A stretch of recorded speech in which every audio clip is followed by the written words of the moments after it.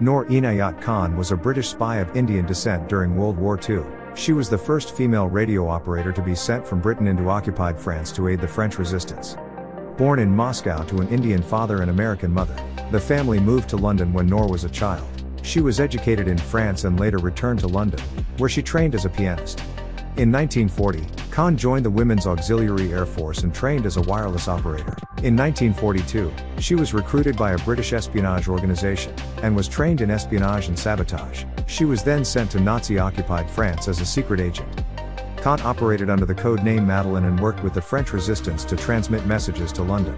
She was captured by the Gestapo and held as a prisoner. Despite being tortured, she refused to give up any information and was executed at the Dachau concentration camp in 1944.